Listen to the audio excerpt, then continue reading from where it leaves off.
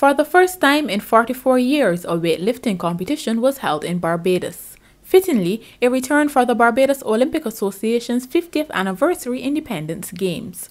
32 competitors took part, including a visiting team from Guyana. Commonwealth lifter Brian Best was the toast of the 85 kilogram category. Here he is doing the clean and jerk.